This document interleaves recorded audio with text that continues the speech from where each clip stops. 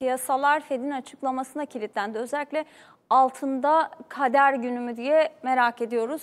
Kapalı çarşıya gidelim. Muhabirimiz Burak Çeliksoy orada bize piyasaların kalbinde durumu aktaracak. Burak merhaba, günaydın, kolay gelsin.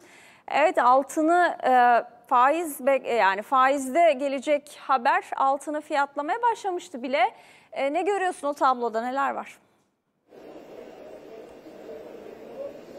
Duygu Kaya iyi yayınlar. Biz şu anda kameraman arkadaşım Özgür Balaban'la birlikte altın ve para piyasalarının kalbi kapalı çarşıdayız. Kapalı çarşıya güne pozitif bir görüntüyle başlamış olduğunu belirtelim öncelikle. Sizin de belirttiğiniz gibi Amerikan Merkez Bankası Fed'in bugün faiz kararını açıklaması bekleniyor. Aslına bakarsanız piyasalar 0.25'lik bir düşüşü de fiyatlamış durumda şu an itibariyle.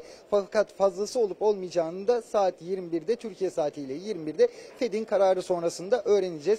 Yine kredi derecelendirme kuruluşlarından Fitch'in Türk 24 Türk Bankası'nın kredi görünümünü pozitife çevirmesi, pozitif yönde değerlendirmede bulunması da piyasaları bugün oldukça hareketli başlattı diyebiliriz. Ben şöyle hemen kenara çekileyim ve Özgür Balaban size döviz ve altın fiyatlarındaki son durumları göstersin. Bugün için şu anda dolar 34, 0.50 kuruştan işlem görürken euro 37,80 kuruştan işlem görüyor kapalı. Çarşıda yine gram altın 2819,85 kuruştan işlem görüyor ve yukarı yönlü bir hareket hakim. Şu an itibariyle Amerikan Merkez Bankası Fed'in bugün itibariyle faiz kararının açıklanması bekleniyor ancak piyasaların 0,25'lik bir düşüşü öngördüğü bunu fiyatladığını belirtmemiz gerekiyor. Ancak tabii ki ne olacağını Fed'in kararının açıklanmasından sonra göreceğiz ve öğreneceğiz. Ancak şu an itibariyle kapalı çarşıdaki son durum bu şekilde diyebiliriz Duygu Kaya. Te- söz tekrar sizde.